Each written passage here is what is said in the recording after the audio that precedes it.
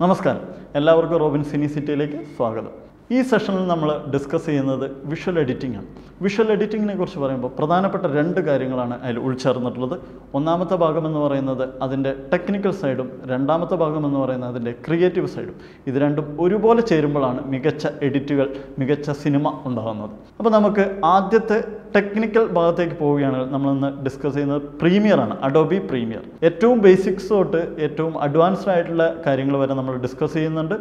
അപ്പോൾ ആദ്യത്തെ രണ്ട് ക്ലാസ്സുകൾ കുറച്ച് ദൈർഘ്യമേറിയതാണ്. കാരണം നിങ്ങൾക്ക് ആ പ്രീമിയറിലേക്ക് എത്താൻ വേണ്ടിയിട്ടാണ് കുറച്ച് കൂടുതൽ കാര്യങ്ങൾ ഞാൻ അതിൽ ഇൻവോൾവ് ചെയ്തിരിക്കുന്നത്. ഇതുവരെ ഈ ചാനൽ കാണാത്ത ആളുകളാണെങ്കിൽ ചാനൽ സബ്സ്ക്രൈബ് ചെയ്യുക അതുപോലെ തന്നെ ബെല്ലൈക്കൺ പ്രസ് ചെയ്യുക. നമുക്ക് ക്ലാസ്സിലേക്ക് പോകാം. ഞാൻ മാക്കാണ് ഉപയോഗിക്കുന്നത്. അപ്പം നിങ്ങൾക്ക് വിൻഡോസ് ഉപയോഗിക്കുന്ന ആളുകൾക്ക് ചില കീബോർഡിലുള്ള ചെറിയ വ്യത്യാസങ്ങളുണ്ട്. അത്തരം കീസ് ഞാൻ മെൻഷൻ ചെയ്യുന്നതാണ്. അപ്പോൾ നിങ്ങൾ ശ്രദ്ധിക്കുമല്ലോ. ഓക്കെ നമുക്ക് പ്രീമിയറിലേക്ക് പോകാം. Adobe Premiere two thousand seventeen two thousand eighteen two thousand nineteen and two thousand twenty ഈ മൂന്ന് വേർഷൻസ് ആണ് ഞാൻ കഴിഞ്ഞ കുറേ കാലങ്ങളായിട്ട് ഉപയോഗിച്ചുകൊണ്ടിരിക്കുന്നത്. അതിൽ തന്നെ ഞാൻ ഏറ്റവും കൂടുതലായിട്ട് ഉപയോഗിക്കുന്ന വേർഷൻസ് എന്ന് പറയുന്നത് two thousand seventeen and two thousand nineteen ആണ്. ടു തൗസൻഡ് ട്വന്റി വരെ എത്തി നിൽക്കുന്നുണ്ട്. എന്തുകൊണ്ട് ഞാൻ two thousand seventeen and two thousand nineteen ഉപയോഗിക്കുന്നതെന്ന് ചോദിച്ചു കഴിഞ്ഞാൽ വലിയ ഹെവി ലോഡ് ഇല്ലാതെ സിസ്റ്റത്തിന് കോൺഫിഗറേഷനൊക്കെ അനുയോജിച്ച രീതിയിലുള്ള രണ്ട് വേർഷൻസ് ആണ് two thousand seventeen and two thousand nineteen two thousand എയ്റ്റീനും നിങ്ങൾക്ക് വർക്ക് ചെയ്യാം. ടു തൗസൻഡ് ട്വന്റി എത്തുന്നതോടുകൂടി നിങ്ങളുടെ സിസ്റ്റം കുറേ കൂടി മികച്ച പെർഫോമൻസ് ഉള്ള ഒരു സിസ്റ്റം നിങ്ങൾക്ക് ആവശ്യമുണ്ട്.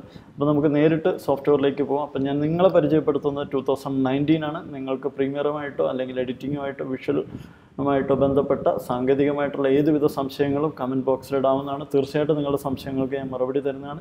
ഏറ്റവും പ്രൈമറി ആയിട്ടുള്ള പ്രീമിയറിന്റെ ഫണ്ടമെന്റൽ ഐഡിയാസിലേക്ക് നമുക്ക് പോകാം Adobe Premiere two thousand nineteen നിങ്ങൾ ഓപ്പൺ ചെയ്ത് കഴിഞ്ഞാൽ നിങ്ങൾക്ക് ഒരു സ്റ്റാർട്ടപ്പ് വിൻഡോ കിട്ടും. ഈ വിൻഡോ നിങ്ങൾ നോക്കിക്കഴിഞ്ഞാൽ ലെഫ്റ്റ് സൈഡിലായിട്ട് new project and open project ഇങ്ങനെ രണ്ട് ഓപ്ഷൻസ് ഉണ്ട്. ഇതിൽ ആദ്യത്തേതെന്ന് പറയുന്നത് നമ്മൾക്ക് പുതിയൊരു പ്രോജക്റ്റ് ക്രിയേറ്റ് ചെയ്യാനും രണ്ടാമത്തേതെന്ന് പറയുന്നത് നമ്മൾ ഓൾറെഡി ക്രിയേറ്റ് ചെയ്തിട്ടുള്ള പ്രോജക്റ്റ് നമുക്ക് റിട്ടേൺ ചെയ്യാൻ അല്ലെങ്കിൽ വീണ്ടും ഓപ്പൺ ചെയ്യാൻ വേണ്ടിയിട്ടൊക്കെയാണ് നമ്മൾ ഉപയോഗിക്കുന്നത്. ഇതിൽ തന്നെ ആദ്യത്തെ ന്യൂ പ്രോജക്റ്റിലേക്ക് നമുക്ക് പോകാം. ന്യൂ പ്രോജക്റ്റ് എടുത്തു നിങ്ങൾക്ക് കാണാം. നെയിം ഫസ്റ്റ് ഓപ്ഷനാണ് ഞാൻ ഈ പേരൊന്ന് മാറ്റുകയാണ്.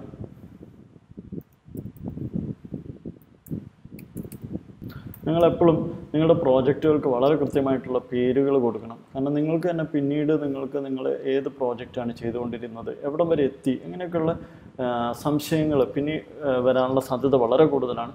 നിങ്ങൾക്ക് കുറച്ച് കാലങ്ങൾക്ക് ശേഷം ഒരു പ്രോജക്റ്റ് എടുക്കണം അതിലുള്ളൊരു ഫയൽ ചേഞ്ച് ചെയ്യണം അങ്ങനെയൊക്കെ വരുമ്പോൾ നിങ്ങൾക്ക് ആ പ്രോജക്റ്റ് പെട്ടെന്ന് കണ്ടുപിടിക്കാനായിട്ട് നിങ്ങൾ കൃത്യമായിട്ട് ഓർഗനൈസ്ഡ് ആയിട്ടുള്ള ഒരു രൂപം എപ്പോഴും നിങ്ങൾ എഡിറ്റിങ്ങിൽ തുടർന്നു പോകാൻ ശ്രമിക്കുക.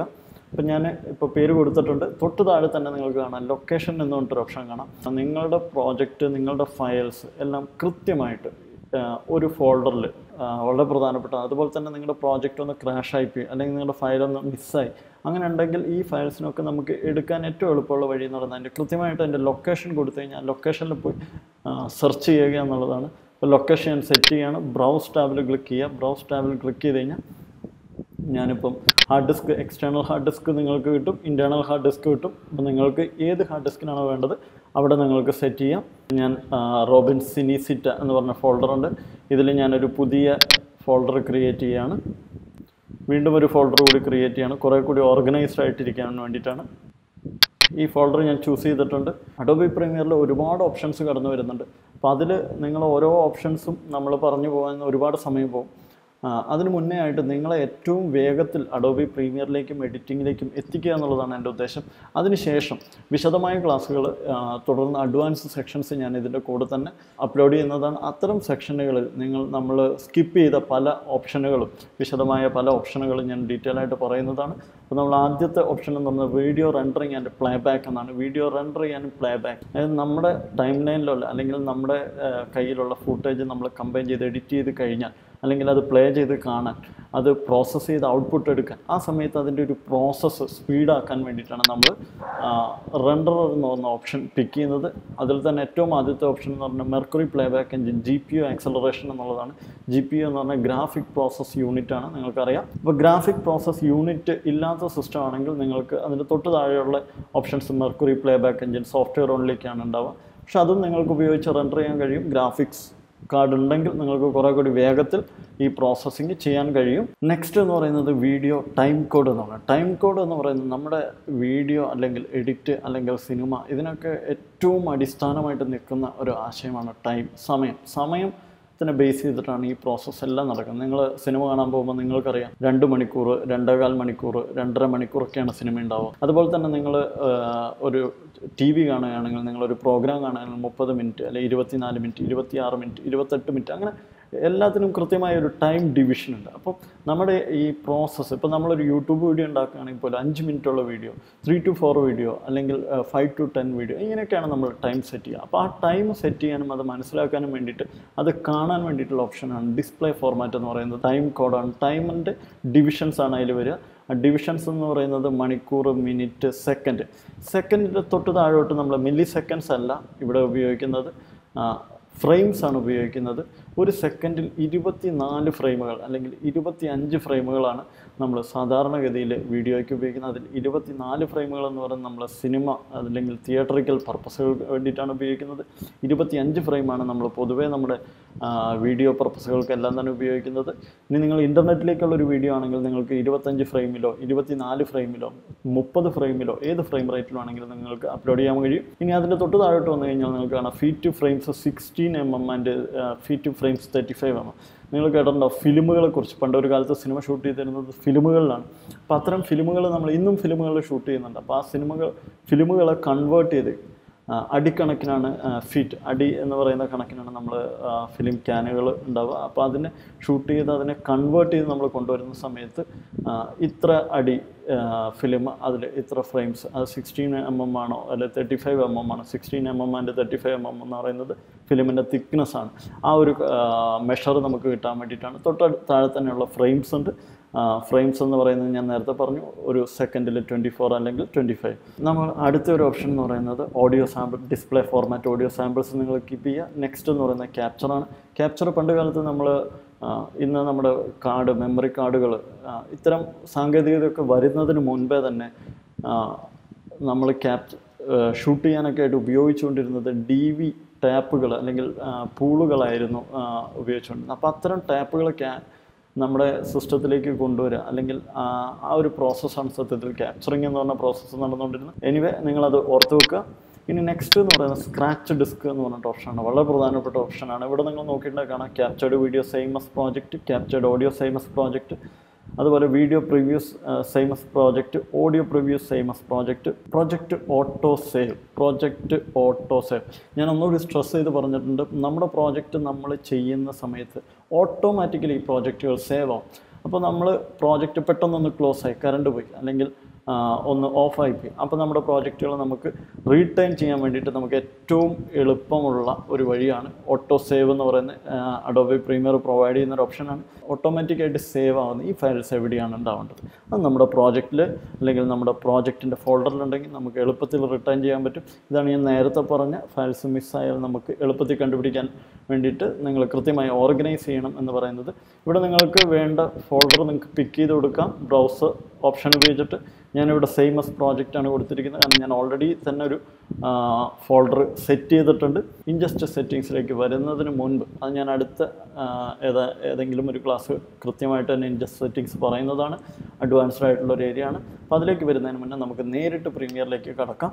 ഓക്കെ ഇപ്പോൾ നിങ്ങളുടെ മുന്നിൽ തുറന്നിരിക്കുന്നതാണ് അഡോബി പ്രീമിയർ എന്ന് പറയുന്നത്. നിങ്ങൾ മുകളിൽ നോക്കി Adobe Premiere file edit clip sequence markers graphics window and help ഇത്രയധികം ഓപ്ഷൻസ് ഉണ്ട്.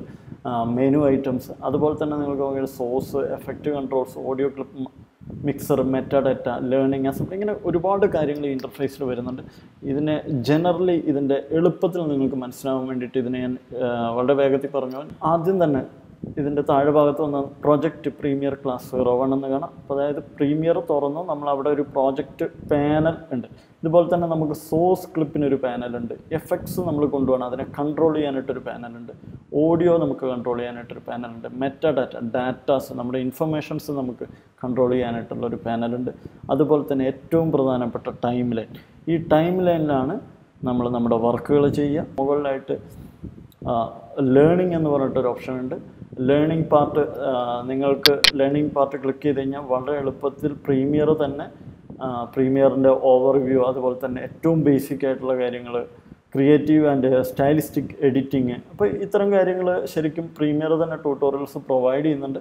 അസംബ്ലി എന്ന് പറഞ്ഞിട്ടൊരു ഓപ്ഷനാണ്. അസംബ്ലിയിൽ നമ്മൾ നമ്മുടെ പ്രോജക്റ്റ് കഴിയുന്ന സമയത്ത് ആ പ്രോജക്റ്റിനെ ഓർഗനൈസ് ചെയ്യാനും അതിലെ ഫയൽസ് എല്ലാം നമുക്ക് ഓർഗനൈസ് ചെയ്ത് വെക്കാനും ഒക്കെ വേണ്ടിയിട്ടാണ് നമ്മൾ അസംബ്ലി ഉപയോഗിക്കുന്നത്. നെക്സ്റ്റ് ടാബ് എന്ന് പറയുന്നത് എഡിറ്റിംഗ് എന്ന് പറയുന്ന ടാബാണ് എഡിറ്റിംഗ് എന്ന് പറയുന്നത് നമ്മുടെ എഡിറ്റിംഗ് പ്രോസസ്സ് നമുക്ക് ചെയ്യാൻ വേണ്ടിയിട്ടുള്ള ടാബാണ് നിങ്ങൾ നോക്കിയിട്ട് കാണാം. ഓരോ ടാബും ഞാൻ ക്ലിക്ക് ചെയ്യുന്നതിനനുസരിച്ച് അതിന് ചെറിയ ചെറിയ മാറ്റങ്ങൾ വരുന്നുണ്ട്.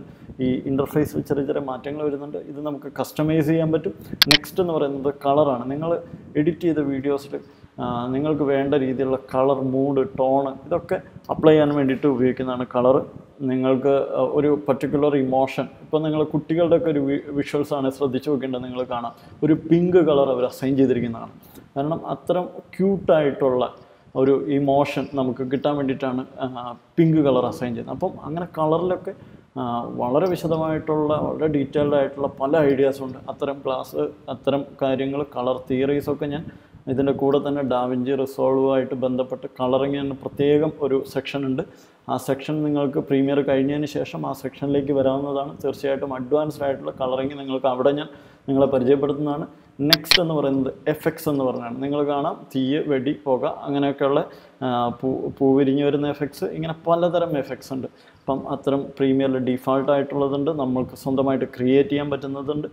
അപ്പം വളരെ രസകരമായിട്ട് വളരെ ക്രിയേറ്റീവായിട്ട് നമ്മുടെ വീഡിയോ മനോഹരമാക്കാൻ വേണ്ടിയിട്ട് നമ്മൾ ഉപയോഗിക്കുന്നതാണ് എഫക്ട്സ് എഫക്ട്സ് ടാബ് നിങ്ങൾ ഓപ്പൺ ചെയ്ത് കഴിഞ്ഞാൽ നിങ്ങൾക്ക് കാണാം. റൈറ്റ് സൈഡിൽ എഫക്ട്സിന്റെ വിൻഡോസ് വന്നിരിക്കുന്നത് കാണാം. അതിലേക്കൊക്കെ നമുക്ക് വിശദമായിട്ട് വരാം. നെക്സ്റ്റ് എന്ന് പറയുന്ന ഓഡിയോ ഏത് വിഷ്വലിന്റെ ഏറ്റവും പ്രധാനപ്പെട്ട ഭാഗങ്ങളിൽ ഒന്നാണ് ഓഡിയോ ഞാൻ ലോഗോ ഇട്ട സമയത്ത് തന്നെ ആദ്യം വന്ന ഒരു കമന്റുകളിലൊന്നാണ് ഇതിൽ ഓഡിയോ ഇല്ലല്ലോ എന്ന്. തീർച്ചയായിട്ടും ഞാൻ ഓഡിയോ ഇടും. അപ്പോൾ നിങ്ങൾക്ക് ഓഡിയോന്റെ ഒരു പ്രസക്തി മനസ്സിലാക്കാൻ വേണ്ടിയിട്ട് നിങ്ങളുടെ വീഡിയോസിൽ ഓഡിയോ ഇല്ലെങ്കിൽ അതിന്റെ ഒരു സ്വഭാവം തന്നെ മാറും. ഓഡിയോ ഇല്ലാതെ തന്നെ നിങ്ങളുടെ വിഷ്വൽ കമ്മ്യൂണിക്കേറ്റ് ചെയ്യുന്നുണ്ടെങ്കിൽ അതാണ് ഏറ്റവും നല്ല വിഷ്വൽ സ്റ്റോറി. ഓർമ്മിപ്പിക്കുന്ന ഞാൻ ഒരിക്കൽ കൂടി ഓഡിയോ ഇല്ലാതെ നിങ്ങളുടെ വിഷ്വൽ കമ്മ്യൂണിക്കേറ്റ് ചെയ്യുന്നുണ്ടെങ്കിൽ അതാണ് നിങ്ങളുടെ ബെസ്റ്റ് വിഷ്വൽ സ്റ്റോറി. പക്ഷേ ഓഡിയോ നമുക്ക് ഏറ്റവും നല്ല സപ്പോർട്ടിംഗ് ടൂളാണ്. തീർച്ചയായിട്ടും നമ്മൾ ഓഡിയോ ഉപയോഗിക്കണം. എന്നത് ഗ്രാഫിക്സ്. നമ്മുടെ ടൈറ്റിലുകൾ അതുപോലുള്ള കാര്യങ്ങൾ ലോഗോ അനിമേഷൻ ഇങ്ങനെയുള്ള കാര്യങ്ങളൊക്കെയാണ് നമ്മുടെ ടൈറ്റിൽ പ്രധാനമായിട്ട് വരുന്നത്. നമ്മുടെ കയ്യിൽ ഓൾറെഡി ഉള്ള ഫയൽസ് അല്ലെങ്കിൽ നമുക്ക് ഡൗൺലോഡ് ചെയ്ത ഫയൽസ് ഇത്തരം ഓപ്ഷൻസിലേക്ക് നമുക്ക് പോകാൻ വേണ്ടിയിട്ട് ഉപയോഗിക്കുന്നതാണ് ലൈബ്രറീസ് ലൈബ്രറിനൊക്കെ ഇതിൽ ഓരോ ടൈപ്പുകളെ കുറിച്ചും വിശദമായിട്ട് ഡിസ്കസ് ചെയ്യുന്നതാണ് ഓരോ ഏരിയ നമ്മൾ എത്തുന്ന സമയത്ത് പറയുന്നത്. അപ്പോൾ നമുക്ക് ഇപ്പോൾ നമ്മൾ എഡിറ്റിങ്ങിലേക്ക് നമുക്ക് തിരിച്ചു വരാം. ഇനി നമ്മൾ ഈ ഓൾറെഡി ഡീഫാൾട്ട് ചെയ്തു വെച്ചിരിക്കുന്ന ഈ വർക്ക് സ്പേസ് അല്ലാതെ. നമുക്ക് തന്നെ നമ്മുടെ വർക്ക് സ്പേസുകൾ നമുക്ക് ചേഞ്ച് ചെയ്യാം. നിങ്ങൾ വിൻഡോയിൽ വന്നു കഴിഞ്ഞാൽ ഏറ്റവും മുകളിലുള്ള ഓപ്ഷനാണ് വിൻഡോയിൽ വർക്ക് സ്പേസ് എന്ന് പറഞ്ഞ ഓപ്ഷൻ നിങ്ങൾക്ക് കാണാം. ഓൾ പാനൽസ് എല്ലാ പാനൽസും കിട്ടും. അസംബ്ലി ഓഡിയോ കളർ എഡിറ്റിംഗ് ഇങ്ങനെ നമ്മൾ നേരത്തെ ക്ലിക്ക് ചെയ്ത ഏത് പാനലിലേക്ക് നമുക്ക് ഇവിടുന്ന് എന്ത് ചെയ്യാം? ചേഞ്ച് ചെയ്ത് പോകാം അതുപോലെ തന്നെ നിങ്ങൾക്ക് reset to saved layout എന്ന് പറഞ്ഞിട്ടൊരു ഓപ്ഷൻ ഉണ്ട്. നിങ്ങൾ സേവ് ചെയ്യുന്ന ഒരു ലേഔട്ടിലേക്ക് നിങ്ങൾക്ക് മാറാൻ പറ്റും. അത് പറയാം എങ്ങനെയാണെന്നുള്ളത്. അതുപോലെ തന്നെ save as new work space നിങ്ങൾക്ക് പുതിയൊരു വർക്ക് സ്പേസ് ആക്കി തന്നെ മാറ്റാം. ഓൾറെഡി ഉള്ള വർക്ക് സ്പേസിന് എഡിറ്റ് വർക്ക് സ്പേസ് നിങ്ങൾക്ക് അതിനെ എഡിറ്റ് ചെയ്തുകൊണ്ട് പുതിയൊരു വർക്ക് സ്പേസ് ക്രിയേറ്റ് ചെയ്യാം. അപ്പോൾ നമുക്ക് ഈ എഡിറ്റ് വർക്ക് സ്പേസ് അല്ലെങ്കിൽ പുതിയൊരു വർക്ക് സ്പേസ് നമുക്കൊന്ന് ഉണ്ടാക്കി നോക്കാം. ആദ്യം തന്നെ എനിക്ക് എന്റെ പ്രോജക്റ്റ് വിൻഡോ എനിക്ക് ടൈം ലൈനിന് കുറച്ചുകൂടി സ്പേസ് കിട്ടണം. അപ്പോൾ അതിന് വേണ്ടിയിട്ട് ഞാൻ എന്റെ പ്രോജക്റ്റ് പാനലിനെ ഞാനൊന്ന് ക്ലിക്ക് ചെയ്യാണ്. ക്ലിക്ക് ചെയ്തതിന് ശേഷം ഡ്രാഗ് ചെയ്ത് നിങ്ങൾ മുകളിലേക്ക് കൊണ്ടുവരിക. കണ്ടോ നിങ്ങൾ ഈ വിൻഡോ കൊണ്ടുവരുന്നതിനനുസരിച്ച് ഇത് ആക്റ്റീവ് ആകുന്നുണ്ട് അപ്പം ഞാൻ ഈ സോഴ്സ് എഫക്റ്റ് കൺട്രോൾസ് ഇതിന്റെ കൂട്ടത്തിലേക്ക് ഈ പ്രോജക്റ്റിനെ ആഡ് ചെയ്യുകയാണ്. അവിടെ ക്ലിക്ക് ചെയ്ത് വിട്ട് കഴിഞ്ഞാൽ ക്ലിക്ക് ചെയ്ത് ഡ്രാഗ് ചെയ്ത് കൊണ്ടുവരണം. ഓക്കെ പ്രോജക്റ്റ് പാനലിന്റെ അടുത്ത് അല്ലെങ്കിൽ സോഴ്സിന്റെ അടുത്ത് നമ്മുടെ പ്രോജക്റ്റ് പാനൽ എത്തിയിട്ടുണ്ട്. ഇനി ഞാൻ തൊട്ട് താഴേക്ക് വരികയാണ്. ഇത് മീഡിയ ബ്രൗസർ ഇവിടെയുണ്ട് നമുക്ക് വേണമെങ്കിൽ മീഡിയ ഇവിടെ നിന്ന് തന്നെ പിക്ക് ചെയ്യാം. പക്ഷേ ഞാൻ മാനുവലി നമുക്ക് ഇമ്പോർട്ട് ചെയ്യാം. അതിനുവേണ്ടി ഞാൻ ഈ മീഡിയ ബ്രൗസർ ഒന്ന് ക്ലോസ് ചെയ്യാണ്. നിങ്ങളൊന്ന് റൈറ്റ് ക്ലിക്ക് ചെയ്ത് കഴിഞ്ഞാൽ റൈറ്റ് മീഡിയ ബ്രൗസറിന്റെ മുകളിൽ വെച്ച് റൈറ്റ് ക്ലിക്ക് ചെയ്ത് കഴിഞ്ഞാൽ നിങ്ങൾക്ക് കാണാം ക്ലോസ് പാനൽ അൺഡോക്ക് പാനൽ എന്നിട്ടൊരു ഓപ്ഷൻ ഉണ്ട്. അൺഡോക്ക് പാനൽ കൊടുത്തു കഴിഞ്ഞാൽ നിങ്ങൾക്ക് അതൊരു സെപ്പറേറ്റ് പാനലായിട്ട് നിങ്ങൾക്ക് മാറും. ഞാൻ ക്ലോസ് ചെയ്യാണ്. നെക്സ്റ്റ് ലൈബ്രറീസ് ഒന്ന് ക്ലോസ് ചെയ്യാണ്. അതുപോലെ തന്നെ close other panels in group അതായത് ഇവിടെയുള്ള എല്ലാ പാനലുകളെയും നമ്മൾ ഒരുമിച്ച് വേണമെങ്കിൽ നമുക്ക് ക്ലോസ് ചെയ്താൽ ഓക്കെ ഇപ്പോൾ ലൈബ്രറീസ് മാത്രമേ ഉള്ളൂ. ബാക്കി എല്ലാ പാനലുകളും ക്ലോസ് ആയിട്ടുണ്ട്. ലൈബ്രറി ഞാനൊന്ന് ക്ലോസ് ചെയ്യാം. ഓക്കെ അതിൽ ഒന്ന് രണ്ട് ഓപ്ഷൻ കൂടി ഉണ്ട്. അത് പിന്നീട് നമുക്ക് വിശദമായി ഡിസ്കസ് ചെയ്യാം. ഓക്കെ ഇനി നിങ്ങൾ ലെഫ്റ്റ് സൈഡിൽ നിങ്ങൾ നോക്കിയിട്ട് ചില ടൂൾസുകൾ കാണാം. നമുക്ക് വർക്ക് ചെയ്യാൻ വേണ്ടിയിട്ട് നമ്മൾ ഉപയോഗിക്കുന്നതാണ് ടൂൾസ് അപ്പോൾ പ്രോജക്റ്റ് നമ്മൾ ക്രിയേറ്റ് ചെയ്തിട്ടുണ്ട്. ഞാൻ ഈ വർക്ക് സ്പേസ് ഒന്ന് സെറ്റ് ചെയ്തിട്ടുണ്ട്. ഈ വർക്ക് സ്പേസിനെ നമുക്കൊന്ന് സേവ് ചെയ്യാം. വർക്ക് സ്പേസിൽ വന്ന് ഞാൻ save as new work space ഇവിടെ ഞാൻ എന്റെ പേരൊന്ന് കൊടുക്കുകയാണ്. അല്ലെങ്കിൽ നമ്മുടെ ചാനലിന്റെ പേര് കൊടുക്കുകയാണ്. സിനി സിറ്റ. സിനി സിറ്റ എന്നുള്ള പേര് സത്യത്തിൽ ഒരു ലാറ്റിൻ വേർഡാണ് സിനിമകളുടെ നഗരം എന്നാണ് അതിന്റെ അർത്ഥം. സിനിമകളുടെ ലോകത്തേക്ക് അല്ലെങ്കിൽ സിനിമകളുടെ ആശയങ്ങളാണ് അതിന്റെ പുറകിലുള്ള ചില കാര്യങ്ങളാണ് ഞാൻ നിങ്ങളായിട്ട് പങ്കുവെക്കുന്നത്. അതുകൊണ്ടാണ് പേര് ഞാൻ പിക്ക് ചെയ്തിരിക്കുന്നത്. ഓക്കെ ഞാൻ ഈ വർക്ക് സ്പേസിന് സിനി സിറ്റ എന്ന പേര് കൊടുത്തിട്ടുണ്ട്. അപ്പോൾ നമ്മുടെ വർക്ക് സ്പേസ് സിനി സിറ്റ് ഇവിടെ ആക്റ്റീവായിട്ടിരിക്കുന്നുണ്ട് അപ്പം once again thank you for watching മറക്കാതെ എല്ലാവരും സിനിസിറ്റ ചാനൽ സബ്സ്ക്രൈബ് ചെയ്യുക. Robin സിനിസിറ്റ thank